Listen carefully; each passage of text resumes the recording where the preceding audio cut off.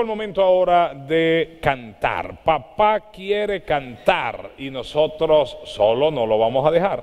Sí, Señor, yo quiero cantar, tú quieres cantar, Él quiere cantar, todos queremos cantar. El cielito quiere cantar y el cielote no puede quedarse atrás. El cielote también quiere cantar. Cuando yo diga tres, estamos cantando. Sí. A la una. ¿Cuántas van? Una. A las dos. ¿Cuántas van? Van dos. A las dos y media.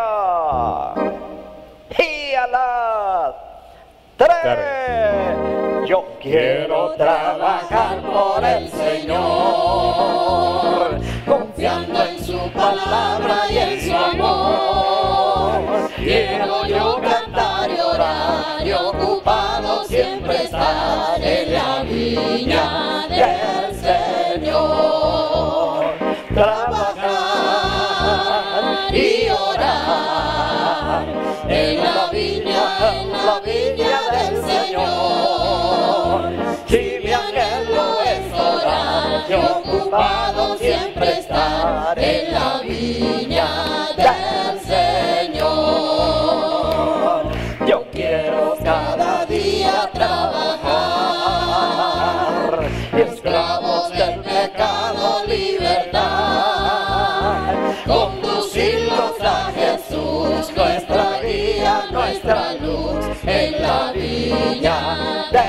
Señor.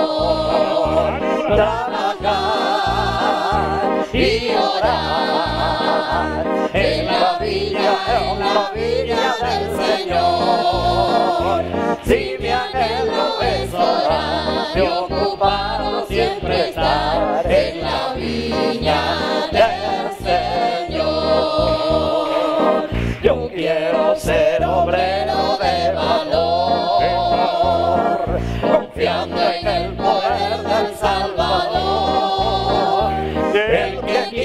trabajar, hallará también lugar en la viña del Señor. Trabajar y orar en la viña, en la viña del Señor. Si mi anhelo es orar y ocupado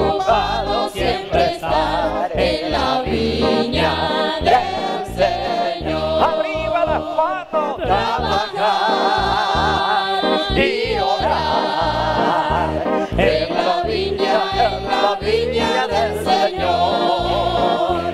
Si mi anhelo es orar y ocupado siempre estar en la viña del Señor. Por última vez, trabajar, trabajar y orar en la viña, en la viña del Señor. Orar y ocupado siempre estar en la viña del.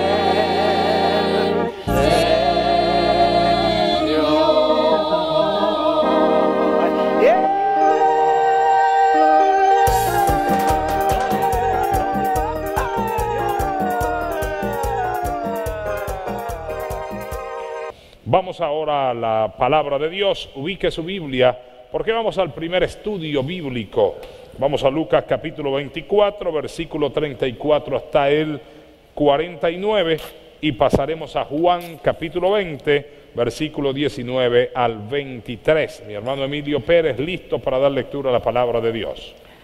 Dice las escrituras de la manera siguiente, que decían, ha resucitado el Señor verdaderamente y ha aparecido a Simón. Entonces ellos contaban las cosas que le habían acontecido en el camino y cómo le habían reconocido al partir el pan. Mientras ellos aún hablaban de estas cosas, Jesús se puso en medio de ellos y le dijo, paz a vosotros.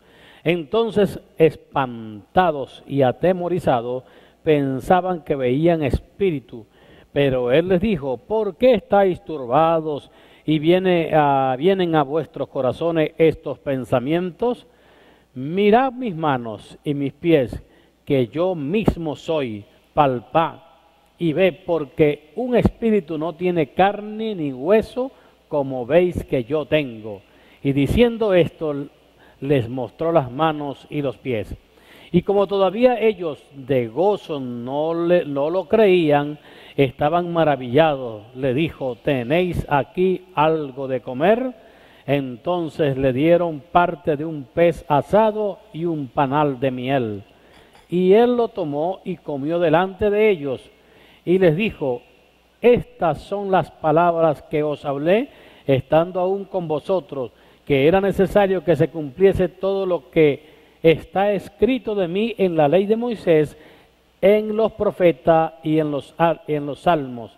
Entonces les abrió el entendimiento para que comprendiese las escrituras. Oremos a Dios. Padre nuestro que estás en los cielos, muchas gracias por tu palabra. Que esa palabra corra como río de agua viva en los cinco continentes. Pon la palabra de gracia y de sabiduría en la boca de tu siervo, mi mano puerta, y que esa palabra se penetre en cada corazón de los que oyen a través de las radios y de la televisión. En el nombre de Jesús, Padre, te lo pedimos. Amén y amén. Esta semana hemos estado acopladitos, acopladitos con la palabra.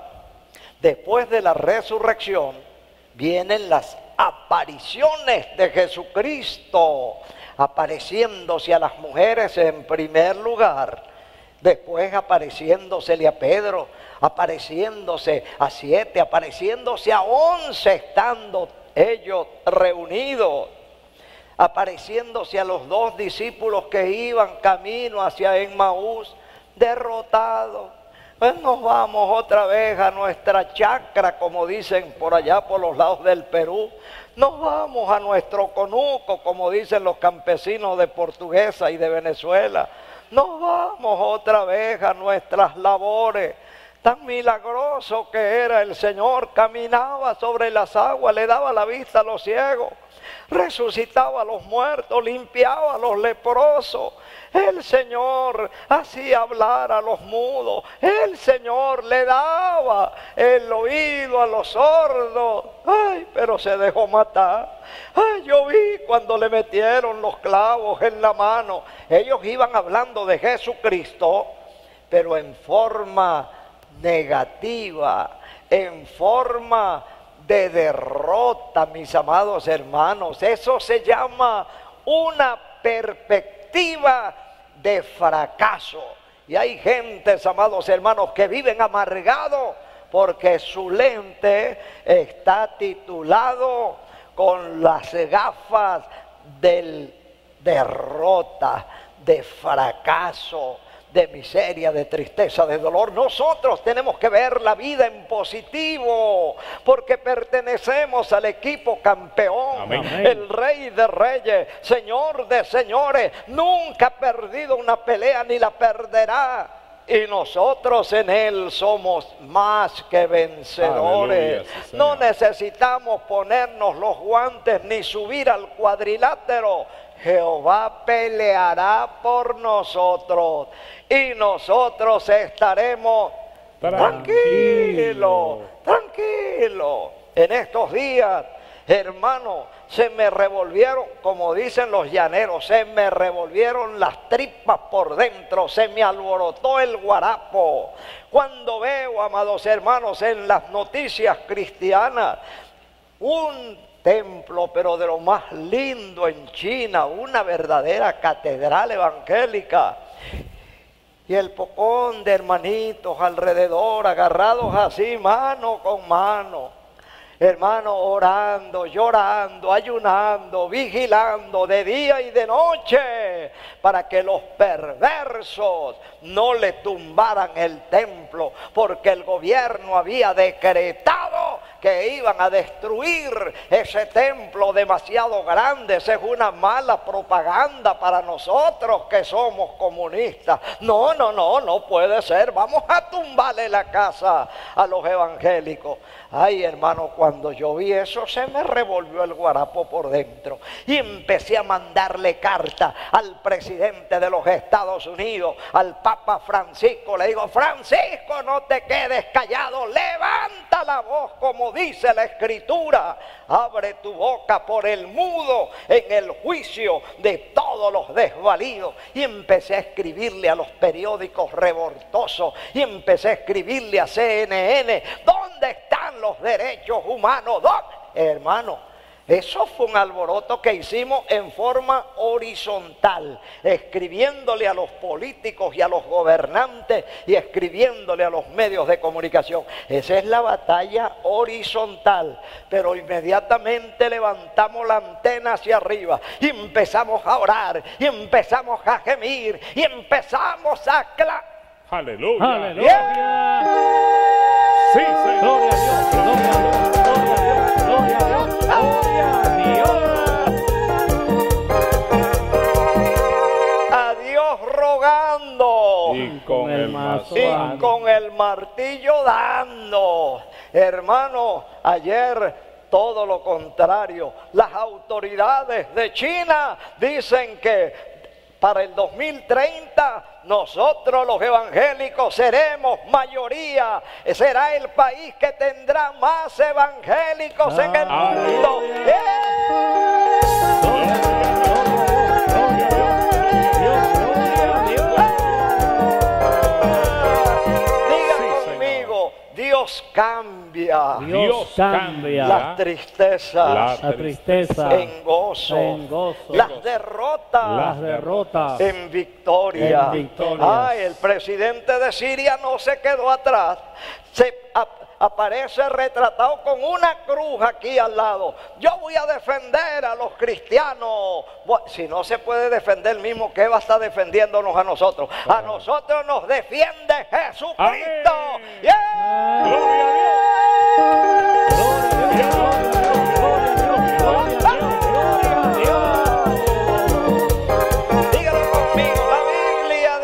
La Biblia dice que cuanto más los oprimían, Que cuanto Cuanto más más los oprimían, ¿qué pasaba, mi Juan? Cuanto más los oprimían, más se multiplicaban y crecían, papá. tanto más los oprimían, Más se cuanto más se multiplicaban. multiplicaban Y crecían. y crecían. Yo escuché un cuento que no sé si será verdad. El diablo es demasiado feo que el Señor lo reprenda. Amén. Y que, le, y que le regalaron un espejo al diablo. Y cuando se vio se puso bravo porque es demasiado feo. Tiró el espejo al suelo y empezó a zapatear sobre el espejo. Pero cuanto más quebraba el espejo, más feo se ponía y más se multiplicaba. Así son los evangélicos, Sí. hermano. Cuanto más quiere el diablo espaturrarnos, tanto más nos multiplicamos. Gloria a Dios. Cuanto más crecemos, bendito el nombre del Señor. Los discípulos estaban derrotaditos, derrotaditos. Cuando reconocieron al Señor en el momento de partir el pan, lo reconocieron a Él. ¿Por qué lo reconocieron? Porque cuando agarró el pan en la mano, ¿qué fue lo que le vieron aquí en la mano? La- los agujeros, hermanos, donde le metieron el clavo. Le vieron los huecos del clavo, le vieron los huecos de los clavos. Cuando le vieron la... Agarró el pan para partirlo delante de los discípulos de Imaú y le vieron esos troncos huecos. Y cuando le vieron los huecos en las manos, ellos dijeron, el... ¿Cómo crees tú que dijeron, hermano Linares? Ha resucitado el Señor. ¿Cómo dijeron? Ha resucitado el Señor. Es el Señor. Gloria a Dios. Ha resucitado el Señor. Pero ¿qué hizo el Señor cuando lo reconocieron, hermano Carmona? Enseguida el Señor se desapareció delante de ellos. Se desapa- lo reconocieron demasiado tarde. Hay gente que reconocen al Señor cuando tienen un poco de manguera metida por aquí, por la nariz, Ay. por la boca, por los oídos, un hueco aquí en la gargantilla, respirando por un tubo. Y, fu- y fu- hermano, vas a aceptar a Jesús. Yo, yo recibo al Señor. ¿Cómo ibas a esperar tener un poco de tubo? Es hoy que tenemos que Amén. reconocer al. Señor. Sí, Señor. No esperes para darle al Señor el carapacho cuando ya no sirvas para Mm. nada. Es hoy el día de rendirnos al Rey Amén. de Aleluya. Reyes y Señor de señores. No me le dé al Señor las alpargatas cuando ya están rotas. Vamos Sí. a entregarle zapatos nuevos, Amén. odres nuevos. Aleluya. Los discípulos se armaron de valor. Ellos estaban asustaditos, pero cuando reconocieron al Señor, hermanos, se les quitó el miedo. Ellos tenían miedo. Ellos le dijeron al Señor, no, no se vaya, que este camino es muy peligroso. Por aquí están los samaritanos. No, no, quédese con nosotros. Y él se quedó con ellos, pero al partir el pan, cuando lo reconocieron, se les desapareció. Y al desaparecerse, se les quitó el miedo, porque al ver al Señor se dieron cuenta que no estamos solos, que Aleluya. el Señor está con nosotros Sí, todos los días hasta el Hasta el fin del fin mundo. del mundo. Corrieron a Jerusalén, son 15 kilómetros. Vendrían saliendo de ahí de su casa como a las 9 de la noche más o menos, tres horas de camino. Vamos a ver, las 9 más tres horas, como a qué hora llegaron allá a Jerusalén. A las 12 más o menos. 9 más Once. 3 son 12, sí señor, para ver 9, 10, 11 y 12. Sí, a las 12 de la noche llegaron a Jerusalén. ¿Y qué pasó cuando llegaron a Jerusalén? Estaban los discípulos reunidos. Habían 11 reunidos. ¿De qué estaban hablando ellos? No estaban hablando de la gallera, no estaban hablando de las modas, no estaban hablando de los hijos ni de los nietos. Estaban hablando, versículo 34, vamos a ver, Lucas 24, 34. ¿Qué era lo que decían ellos en el 34, mi Juan? Ha resucitado el Señor verdaderamente y aparecido a Simón. Versículo 35, ellos, ¿quiénes son ellos? Los Los, discípulos. discípulos. que vienen del camino de Emmaús. Entonces ellos contaban las cosas que les habían acontecido en el camino y cómo le habían Reconocido. reconocido. ¿Cuándo le reconocieron? Al partir el al pan. partir el, El pan. pan. Encuentran a los discípulos a las 12 de la noche, estaban en la segunda vigilia ya para entrar a la tercera, hablando de la resurrección de Cristo. Sí, resucitó el Señor y se le apareció a Pedro. Y nosotros sabemos, porque Pedro no dice mentira, ¿verdad Pedro que tú no dices mentira? Sí decía mentira, había dicho que él no conocía al Señor. Hermano, los encontraron alborotados hablando de la resurrección de Cristo y ellos le echaron gasolina a la candela, le echaron leña al fuego. Ellos contaron cómo habían reconocido al Señor en el momento de partir el pan.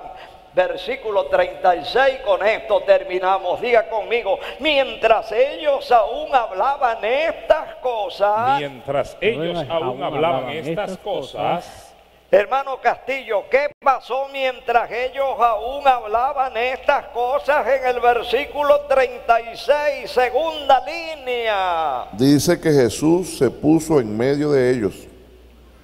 Inmediatamente el Señor, cuando ellos estaban hablando de estas cosas, Jesús se puso en medio de ellos y les dijo, Paz. A vosotros. Dígalo en hebreo como lo dice el Señor. Shalom Aleichem. Shalom aleija. ¿Cómo les dijo el Señor? Shalom. Aleichem. Ellos estaban hablando de la resurrección de Cristo, estaban hablando del Señor. Vinieron los discípulos de Emmaús y dijeron, sí, sí, eso es verdad. Ustedes creen porque Pedro les dijo, Cuando las mujeres le dijeron, ustedes no creyeron, ¿verdad que no creyeron? Bueno, la verdad es que no creíamos, pero ahora sí creen porque se los dijo Pedro, ¿verdad? Sí, sí, ahora sí creemos. Pedro, ¿es verdad que tú viste? Sí, sí, sí, yo lo vi. Bueno, nosotros también lo vimos. Contaron todo eso. Entonces, oiga, está la habitación cerrada. El aposento alto está cerrado, la puerta está bien cerrada, porque ellos le tenían miedo a los judíos. Ellos decían, vamos a hablar de estas cosas, pero aquí cerraditos, calladitos, que no lleguen aquí los judíos porque nos pueden hacer lo que le hicieron al Mesías. Y estaban hablando de eso cuando de repente, oiga, mientras ellos aún hablaban estas cosas, Jesús se puso en medio de ellos y les dijo, levanten las manos, diga conmigo, shalom, Shalom. aleije, Aleije. paz Paz a vosotros. a vosotros. Yeah. Gloria a Dios. Gloria a Dios.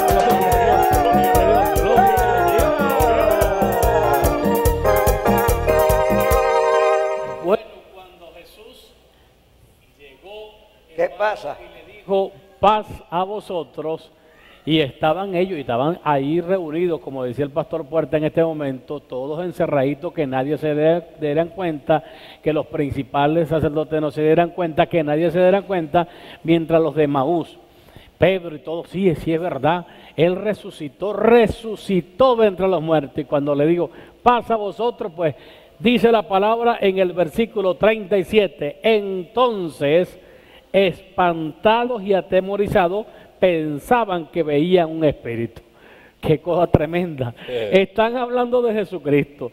Están hablando de que Cristo resucitó. Están hablando, y Pedro dijo, sí, yo lo vi. Los de Maú le dijeron, no, yo también lo vi. Eh, caminó con nosotros y hasta entró con nosotros en la casa. Estuvo con nosotros ahí y vimos cuando partió el pan, le vimos las heridas, todo eso lo vimos. Y cuando Jesús se pone en medio, resulta que ellos dicen, no, estamos viendo un fantasma aquí. Esto, que esto es un fantasma. Ahora la pregunta es, ¿acaso Pedro no conocía a Cristo? ¿No, sab- no sabía la fisionomía de Cristo?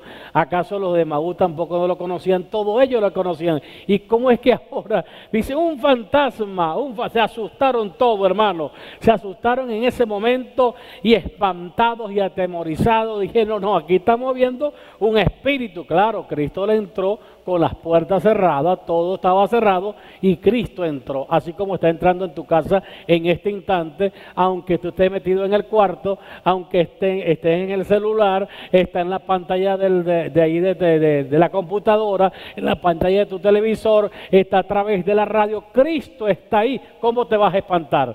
No, si Jesús está hablando a tu vida, está hablando a nuestra vida, no te espante, más bien te dice paz a vosotros, paz para tu alma, paz para tu vida, paz para tu hogar, para, pa- paz para tu familia, paz para tu barrio, paz para el- el- el- la, la- la gobernación, paz para la alcaldía, paz para toda la región y paz para toda Venezuela, porque Cristo dijo, la paz os dejo, mi paz os doy, yo no la doy como el mundo la da. No se espante, los matutinos está saliendo la palabra de Dios, no se espante por esto, es Jesucristo mismo que se le está apareciendo en su vida. Y dice el versículo 37, aquí dice, 38.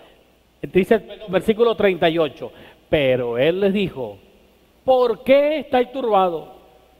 Y vienen a vuestro, a vuestro corazón estos pensamientos. ¿Por qué dicen ustedes que soy un espíritu? ¿No me están viendo aquí? ¿Por qué ustedes dicen que soy un fantasma? ¿Por qué vienen esos pensamientos a ustedes? Si se me le he presentado, estuve con ustedes, les enseñé la palabra y cómo es que van a decir que soy un fantasma. No, no, no. ¿Por qué, se, por qué piensan de esa forma? Y de, eh, amado hermano, ¿Por qué piensan de que esta palabra que sale a través de los matutinos no es de Dios? ¿Por qué piensan ustedes que estos matutinos no son de Dios? Porque hay personas que pueden pensar todos los días matutinos, todos los días de lunes a viernes, todos los días tenemos que conectarnos. Es que esta es la bendición, esto es la palabra de Dios que Cristo resucitó y se le está apareciendo a cada uno todos los días en estos gloriosos matutinos, los viernes en la vigilia internacional por las casas, los domingos en la, en la escuela dominical, o sea que todos los días se nos aparece Cristo, vamos a glorificar su nombre y no esté pensando cosas extrañas, que Dios me le bendiga y que Dios les guarde. Bendito sea el Señor, que Dios me le bendiga. Versículo 39. Sí, Señor. Mira mis manos. Ay, Dios mío. Aquí le dice al Señor, mira mis manos. Aquí están las manos. Y mis pies. O sea, le dijo, mira, ustedes están pensando una cosa extraña, pero miren mis manos. Aquí tengo unos huecos. Eso me lo hicieron allá cuando me clavaron en la cruz del Calvario. Miren mis pies y le enseñaron los pies también. Miren mis pies que yo mismo soy. No piense que soy un espíritu ni soy un fantasma. Palpa, ven pa- venga para acá, Pedro, venga para acá. Toque, toquen aquí. Agarre, agarren aquí. Me- me- mire, toquen aquí mis pies, que aquí tengo un agujero por los pecados suyos y mis pecados. Y dice, palpa y ve, porque un espíritu no tiene carne ni hueso, como veis que yo tengo. Aquí tengo, mire, tóquenme aquí. Aquí estoy, aquí estoy. Yo tengo carne y hueso. Y como un espíritu no tiene una carne, no tiene hueso. Así que palpen, crean. El que cree recibe la bendición. El que cree ve la gloria de Dios. El que cree es salvo. El que cree tiene la vida eterna. Así que crea que Cristo murió, resucitó, se le apareció a sus discípulos y se le sigue apareciendo en tu hogar a través de esta palabra que estamos predicando en estos matutinos. Que Dios me lo bendiga. Gloria a Dios, gloria a Dios, gloria a Dios, gloria a Dios. Es impresionante ver cómo Jesús tuvo que prácticamente chapear a sus discípulos. Es cuando, como cuando el policía llega donde está un grupo de, de- personas, de malandro, de, de bochinchero, de guarimbero, y tiene que sacar la chapita para decir, mire, yo soy, yo soy policía, yo soy fulano de tal, yo soy esto. Bueno, Jesucristo tuvo que chapearlos allí porque ellos estaban, yo no sé qué le pasaba, cabezadura, dice la Biblia, que son ellos, al igual que mucha gente hoy en el mundo, cabeza dura, cabeza dura. Jesucristo tuvo que mostrarle, mire, aquí está mis manos heridas. Palpen, sí, cuando dice palpen es que tuvieron que agarrar, palpar allí, tocar. Vamos a ver si de verdad son las manos del Señor, los pies del Señor. Porque un espíritu les dijo, no tiene carne, no tiene huesos como vosotros veis que yo tengo. Versículo 40 dice, y diciendo esto, le mostró las manos y los pies. Después que le dijo, mira, un espíritu no tiene carne, no tiene hueso. Miren, aquí están las heridas. Y mostró sus manos y sus pies. En pocas palabras, aquí está la evidencia.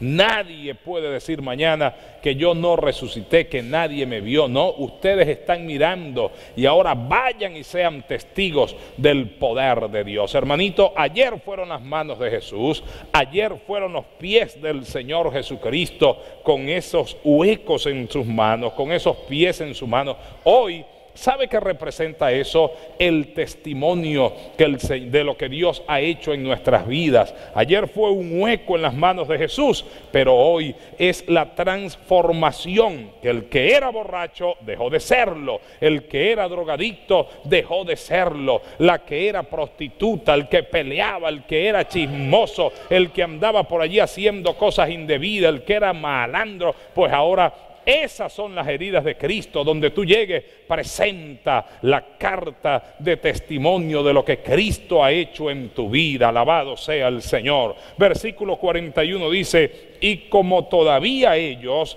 de gozo no le creían y estaban maravillados, le dijo, tenéis aquí algo de comer, una evidencia más. Porque ahora ellos estaban llenos de gozo, viendo al Señor, viendo sus heridas, viendo cómo verdaderamente era un cuerpo que podían tocar, que podían palpar, viendo sus huecos en las manos, viendo los huecos en los pies. Ahora ellos sí estaban llenos de gozo, pero no era un gozo con toda la sinceridad. Era un gozo prácticamente allí, eh, un gozo como dice la gente de hipocresía, porque dice que lleno de gozo no le creían. Fíjate eso, estaban gozosos como la gente que llega a una iglesia, como la gente que está viendo los milagros de Jesús, pero todavía no cree. Y se goza, brinca, salta, canta entre los evangélicos, pero ellos dicen, yo no creo a eso.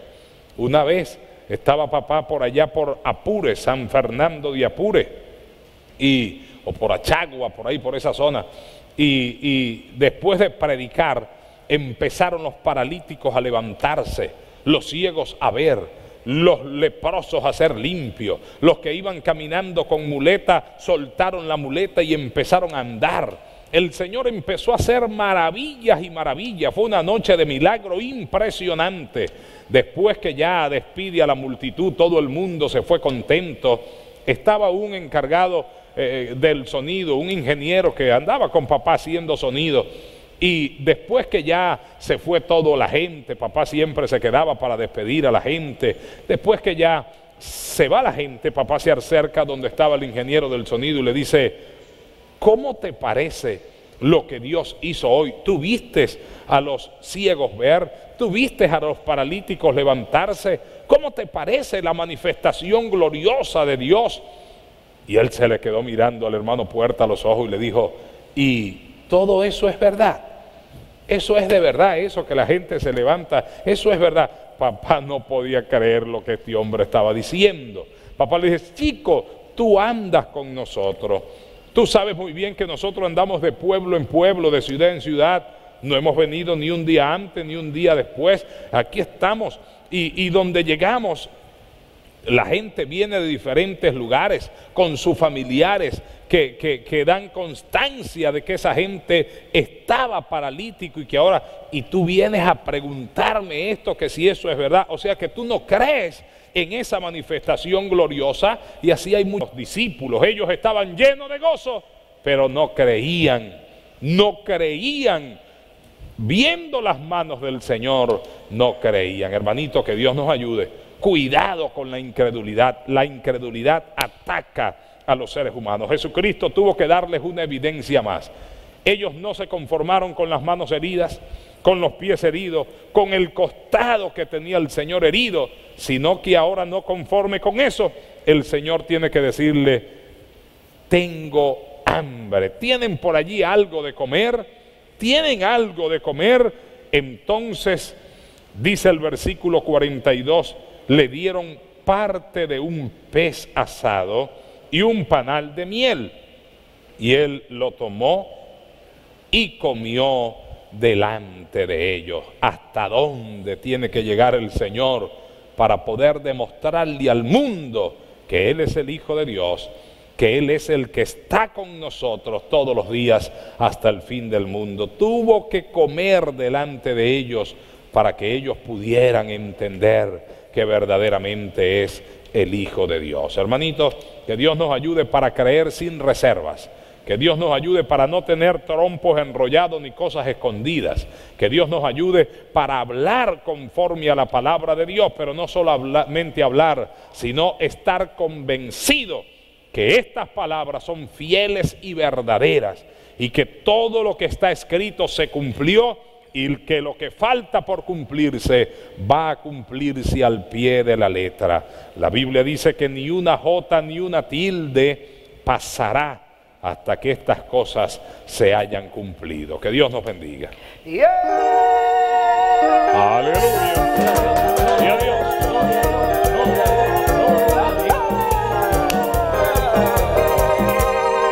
Gloria a Dios, me tocó el versículo 44. Y les digo, estas, estas son las palabras que os hablé, estando aún con vosotros, que era necesario que se cumpliese todo lo que está escrito en mí, en la ley de Moisés en los profetas y en los salmos, el 44. Bueno, mis hermanos, en verdad estamos viendo la historia, pues no solamente historia, sino que también tiene evidencia de lo que sucedió en la persona de Cristo. Y aquí vemos cómo el Señor le recarga de, bueno, en todos los libros de la Biblia parece de que Cristo hay evidencias de que Él bueno, pasó un proceso. Vemos la historia, cómo Cristo resucita eh, de una manera humilde, se levanta y, en su ministerio, y ahí vemos cómo trae un recorrido al Señor, pero aquí, hermano, vemos cómo la gente, aún viendo evidencia de tantas cosas que hace el Señor, manifestándose a ellos de una manera talento vivo, porque ahí le dice que aún comió con ellos y aún estaban, eh, tanto era la duda o, el, o la tristeza que había en ellos que no podían entender que era el mismo Señor que a talento vivo estaba con ellos. Pero dice que la escritura, había evidencia en la escritura porque también se refiere al libro de, de Moisés, mostrando también de que Cristo ha resucitado, que se iba a manifestar a los tiempos posteros, se manifestó. En el libro de Moisés aparece de que se manifiesta. En el libro 53 de Isaías muestra la historia del Señor Jesucristo completa, cómo Él fue a la cruz, cómo muere de una manera tan tremenda. Pero sin embargo vemos aquí que hay gente que todavía duda. Nosotros nosotros no hemos visto a Cristo en esa forma, eh, quizás golpeado en una cruz, pero nosotros hemos entendido y sabemos que el Cristo que estamos predicando ha resucitado y que está vivo, porque nosotros quizás no todos vivimos una vida tan caída en el mundo del pecado, pero la mayoría de los que estamos presentes vivimos una vida bastante eh, hundida en el pecado y lo que ha hecho el Señor con nosotros es evidencia de que Él está vivo y que Él hace cosas grandes con nosotros. Amigo, Cristo está vivo, Él se levantó el tercer día y está vivo entre nosotros y quiere darle vida a usted porque él murió y resucitó el tercer día y aquí hay evidencia de la palabra. En los 66 libros de la Biblia confirma y reafirma de que Él resucitó y está vivo. Ahí comió con ellos de una manera como confirmando de que Él estaba presente en cuerpo, alma y espíritu. Amén. Que Dios les bendiga. Amigo, per- apercíbase, sálvese. Gloria, Aleluya. gloria a Dios, Cristo gloria vive. a Dios, gloria a Dios. Amén. Seguimos con el verso 45 y el verso 46. Dice, entonces les abrió el entendimiento para que, para que comprendiesen las escrituras. Y le dijo, así está escrito, y así fue necesario que el Cristo padeciese y resucitase de los muertos al tercer día.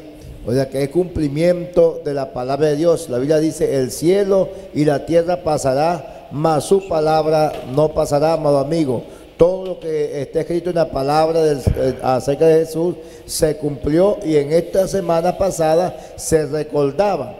¿Y por qué se recordamos? Porque Jesucristo hizo acto de presencia a la humanidad, hizo acto de presencia a sus discípulos. Aquí nos encontramos que el Señor les está hablando a sus discípulos. ¿Para qué? Para que después que el Señor ascendiera al cielo, subiese a la gloria del Padre, estos hombres, estas mujeres quedaran de- este, a cargo de, de extender este testimonio, de extender estas maravillas. Dice que se les abrió el entendimiento.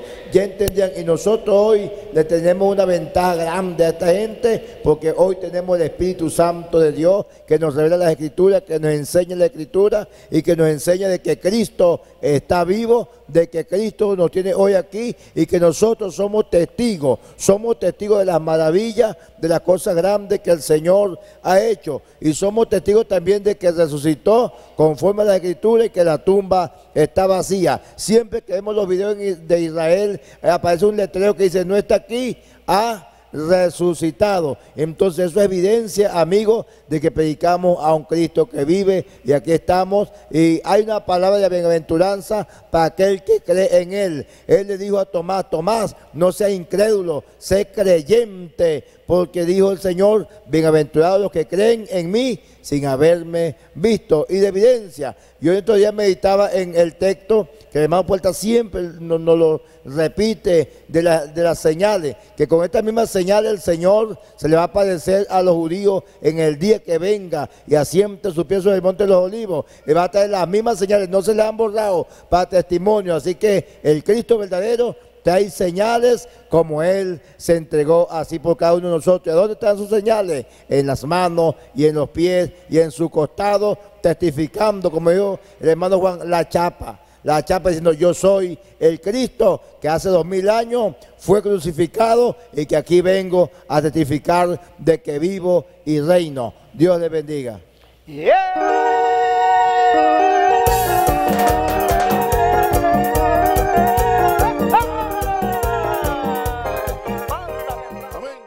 Llegó ahora el momento de presentarle a todos ustedes la conclusión de este glorioso matutino. Ya el doctor Puertas tiene su Biblia abierta en el Evangelio según San Juan, capítulo 20. Vamos a estudiar el capítulo 20, dos versículos de ese capítulo, el 28 y el 29. Nuestro hermano Emilio Pérez, subdirector de la obra evangélica Luz del Mundo, le da lectura a la palabra de Dios. Entonces Tomás respondió y le dijo, Señor mío y Dios mío. Jesús le dijo, porque me has visto, Tomás, creíste, bienaventurados los que no vieron y creyeron. Oremos a Dios. Padre nuestro que estás en los cielos, muchas gracias por tu palabra. Que esa palabra sea en el corazón de cada uno de los que estamos aquí, los que nos oyen a la radio, a la televisión, y que esta conclusión sea una bendición para cada uno y millones de personas sean salvas en los cinco continentes. Pon la palabra en tu siervo en el nombre de Jesucristo. Amén, y amén. Toda la gloria sea para el Señor. Estamos estudiando acerca de la incredulidad de Tomás. Tomás ha venido a ser como sinónimo de corazón duro, cabeza de piedra, incrédulo, una persona indiferente, un frío calculador. Tomás era eso y mucho más. Estamos estudiando acerca de la incredulidad de Tomás. Hay Tomases y hay Tomasa, gente incrédula que por más que están viendo los milagros, las señales, la gloria de Dios, a mí me llama la atención, amados hermanos, que los discípulos del Señor eran, eran terribles, mis amados hermanos. Fíjate que ven al Señor caminando sobre las aguas del mar y de miedo no creyeron. Pensaron que era un fantasma, un espíritu malo que venía a acabar de destruirlo. De miedo no creyeron. Esta mañana estudiábamos que cuando Jesús se presentó y les mostró las heridas, y le mostró el costado, y le mostró las manos, y le mostró los pies, de gozo. No creyeron. No creyeron. Entonces, de miedo no creen. De gozo tampoco creen. Entonces, ¿cuándo es que van a creer? Aquí estamos hablando de la incredulidad de Tomás. ¿Por qué no creía Tomás? Sencillamente porque Tomás era un descarriado, andaba y no andaba con Jesús. Cuando se reunieron los siete, ahí no estaba Tomás. Cuando se reunieron los diez, también faltaba Tomás. De manera que Tomás era una persona como, así como un eclipse, como un cometa. Se ve y no se ve, de repente desaparece. Son las personas que vienen al culto cuando les conviene son las personas que vienen al culto cuando se hace bastante bulla, que viene un cantante, que viene un evangelista, se ven allí en el culto y luego vuelven a desaparecer. Tomás era como un fugitivo, estaba en la lista, pero no andaba con los fieles. Él se caracterizaba por el ausentismo. Falta uno, ese es Tomás no está presente una silla vacía, ese es Tomás. Ya la gente tenían a Tomás ubicado como el abanderado del ausentismo, que no seamos nosotros identificados de esa manera. Finalmente, cuando ellos le dan testimonio y le dicen, ay Tomás, de la que te perdiste, Tomás, Qué culto más importante. El mismo Señor se nos apareció, Tomás. Tomás, nosotros lo vimos. Los diez lo vimos. Muchachos, ¿verdad que nosotros? Sí, sí, el Señor vino y, hasta comió. ¿Saben lo que comió? Comió pescado con miel. Le dimos pescado con miel. Nos mostró las heridas de las manos, nos mostró las heridas de los pies. Se levantó por aquí la batola y le vimos la rajadura por aquí, por donde le metieron la lanza nosotros. Yo no creo, jamás creeré. Y él dio él dio las pautas. Si no hago esto y hago esto, jamás creeré que la ha resucitado diciendo esas palabras, amados hermanos, se apareció el Señor como para pasarle factura, como para arreglar las cuentas con el cabezadura, con el incrédulo Tomás. Y el Señor lo llamó. Y cuando el Señor le dio las pruebas que él estaba pidiendo, ahí sí, se puso aguadito, aguadito, cayó de rodillas a los pies de mi Señor y con esa boca grandota, Señor mío y Dios mío. Ay, el Señor sabía que era un hipócrita. ¿Qué le dijo el Señor cuando él exclamó, Señor mío y Dios mío? ¿Sabe lo que le dijo Jesucristo? Versículo 29, diga conmigo, Jesús le dijo. ¿Cómo le dijo Jesús, mi Juan, en el versículo 29? Porque me has visto, Tomás, ¿creíste? Bienaventurados los que no vieron y creyeron. Ahora sí crees, Tomás. Ahora sí dices, Señor mío y Dios mío, porque me has visto con tus ojos, Tomás. Mira, Tomás, bienaventurados los que no vieron todas estas cosas que ustedes han visto. Ustedes han visto tantos milagros, tantas maravillas. Me vieron caminando sobre el mar, dándole la vista a los ciegos, el oído a los sordos, el habla a los mudos, hice brincar y saltar a los paralíticos, limpié a los leprosos con el poder de mi palabra, resucité a los muertos. Tomad Todas esas cosas las vieron ustedes y todavía no creías en mí, Tomás. Hoy dices, Señor mío, Dios mío, porque me estás viendo, Tomás. ¿Sabes qué? ¿Qué, Señor? Bienaventurados los, que, no vieron, y, creyeron. y creyeron. Y de aquí en adelante no seas incrédulo, Tomás sino fiel. Hermano, esa bienaventuranza hoy es para ustedes, cielito, que Dios los bendiga. ustedes no se imaginan cuánto significa cada uno de ustedes para nosotros y cuánto más para el Señor.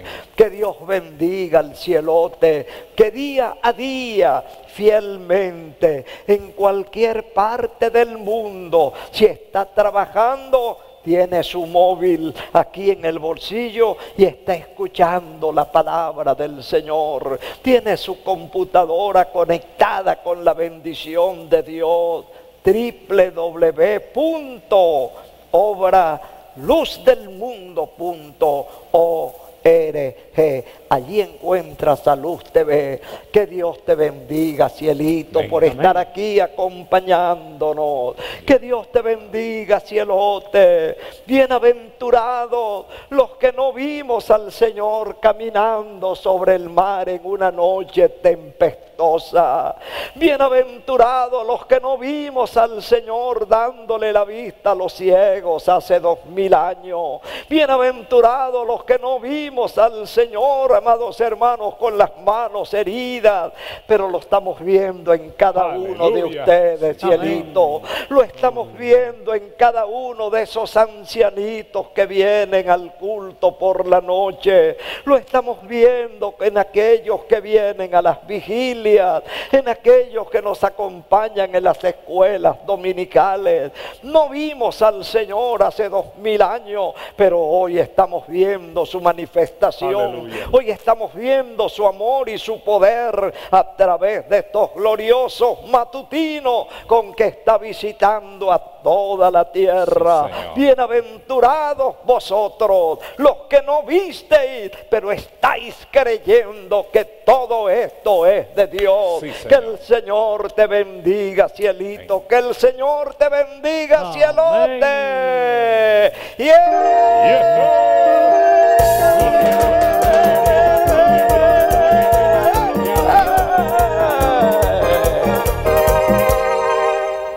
Gloria al Señor. Me corresponde el versículo 24 de San Juan capítulo 20 y dice de la manera siguiente, pero Tomás, uno de los doce llamado divino, no estaba con ellos cuando Jesús vino. Gloria al Señor. Vemos que Tomás no estaba en el momento que el Señor se le apareció a los diez discípulos. Él no estaba con ellos, él no estaba con ellos allí en ese lugar, Pero Tomás había visto las señales que el Señor Jesucristo hacía, porque él estuvo con Jesucristo. Él vio cuando levantaba a los paralíticos, cuando los ciegos veían a través de la, cuando el Señor Jesucristo les oraba. Pero aún andando con el Señor Jesucristo, aún que el Señor Jesucristo les había dicho que Él iba a morir, pero que al tercer día iba a resucitar, Él no estaba allí, hermano, cuando Jesús se le apareció a los diez. Y dice la palabra de Dios que Él no estaba con ellos. En este tiempo también hay muchos Tomás, porque eh, contaba el hermano Juan Van que eh, el ingeniero que andaba con el hermano Puerta, que andaba con, en el equipo, hermano, aún él viendo los milagros, él dijo, ¿y eso es verdad? Entonces todavía hay Tomás que no creen, aún andando, aún en la iglesia hay gente que son como Tomás, que a veces dicen, de verdad hay, eh, hay los matutinos, de verdad hay la vigilia internacional por las casas. De verdad está la hora de la oración. Están allí y todavía son incrédulos. De verdad Jesucristo sigue haciendo milagro. Claro que sí. Entonces nosotros, hermanos, hoy somos bienaventurados porque no vimos al Señor Jesucristo. No estuvimos con el Señor Jesucristo como estuvo Tomás. Pero nosotros sabemos que el Señor Jesucristo murió que el Señor Jesucristo resucitó, que el Señor está en el cielote, que el Señor está en el cielito, que el Señor está aquí con nosotros, que el Señor está en los matutinos. ¿Tú quieres ser un buen aventurado? ¿Un bienaventurado? Entonces acéptale en este día de hoy en tu corazón, que Dios te bendiga y que Dios te guarde. Gloria a Dios, gloria a Dios.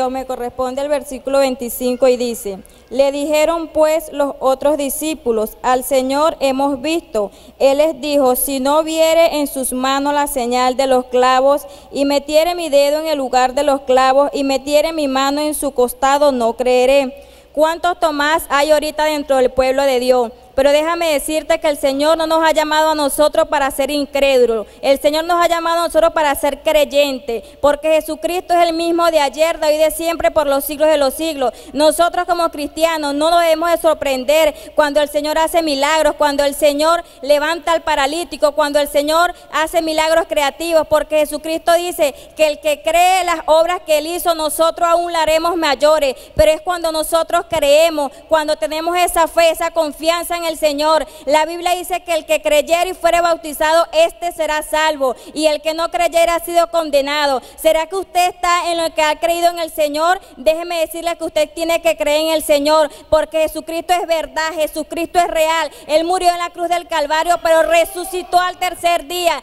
Crea en el Señor Jesucristo para que pueda ser salvo, porque si no ha creído en el Señor Jesucristo, usted será condenado. Pero el Señor no ha venido porque aún Él tiene misericordia de cada uno de nosotros y Él no quiere que nadie se pierda. No sea usted un incrédulo, sea usted que cree en el Señor Jesucristo, así como estamos nosotros en este lugar, que hemos creído que aquí está la bendición de Dios. Que Dios te bendiga, que Dios te guarde y Cristo te ama.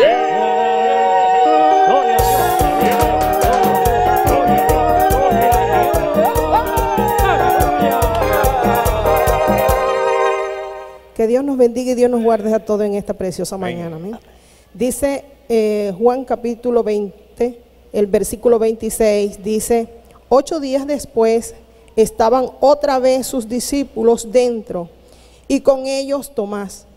Llegó Jesús, estando las puertas cerradas, y se puso en medio y les dijo, paz a vosotros.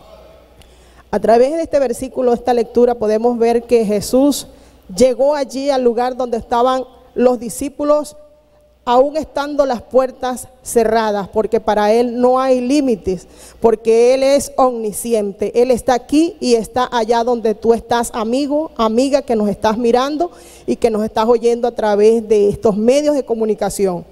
Hoy te dice Jesús que Él está allí. Así como llegó aquí, así está Jesús allí, a donde tú estás. No importa el lugar donde estés. No importa la situación que estés viviendo, no importa la situación que estés pasando, allí está Jesús y a través de nosotros te dice paz, como lo dijo a los discípulos, paz a vosotros, paz a ti.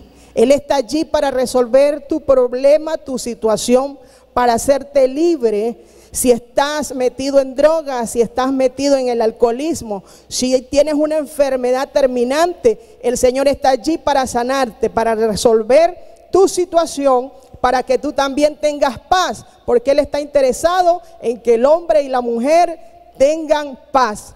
Vuelve ahora en amistad con Dios y tendrás paz y por ello te vendrá bien. Dios te bendiga y Dios te guarde. Gloria.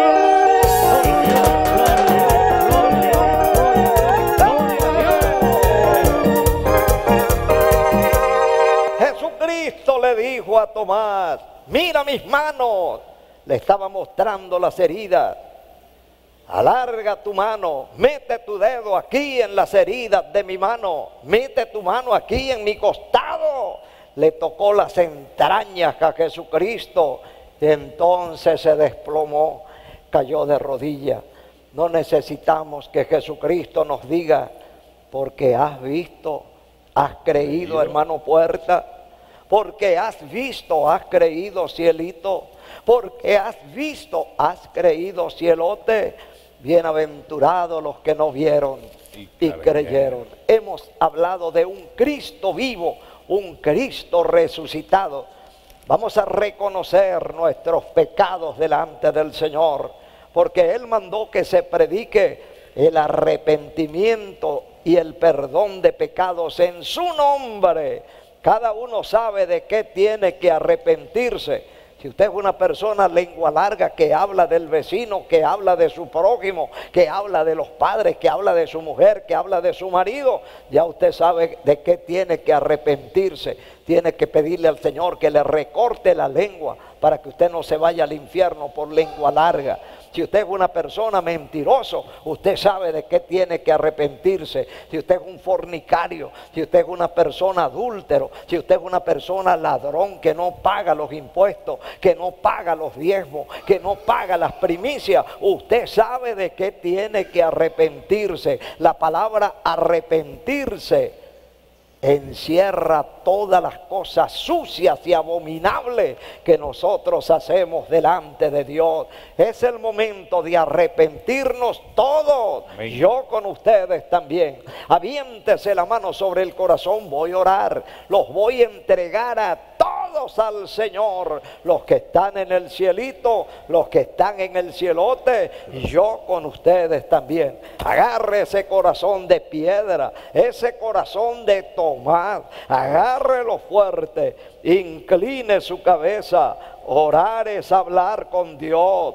Diga conmigo, Dios mío. Dios mío. En este momento, En este momento, yo me arrepiento, yo me arrepiento de todos mis pecados, todos mis que tú los conoces, que tú los conoces, y yo también, y yo también. te pido perdón, Te pido perdón. Jesús de Nazaret, Jesús de Nazaret. yo no quiero perderme quiero perderme en ese infierno en ese terrible, infierno terrible. yo no quiero ir al infierno, Yo no quiero ir al infierno. donde el fuego no se apaga fuego no se y el gusano nunca muere, gusano nunca yo muere. quiero ir contigo Yo quiero ir a la patria celestial. patria Sé que soy pecador. Sé que soy pecador. Te he ofendido. Te he ofendido. Muchas veces, Muchas veces. he sido indiferente, He sido indiferente a tu palabra. A tu Pero palabra. hoy Pero hoy yo vengo como un Yo niño, vengo como un niño a pedirte perdón. pedirte el perdón. Señor Jesús, Señor Jesús. tú conoces mis pecados, Conoces mis mis, pecados, debilidades, mis debilidades, mis raíces de amargura, raíces mis mentiras,